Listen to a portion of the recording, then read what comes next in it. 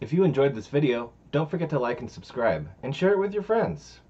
Don't forget to hit the notification bell if you want to see more videos, and I'll see you guys in the next one.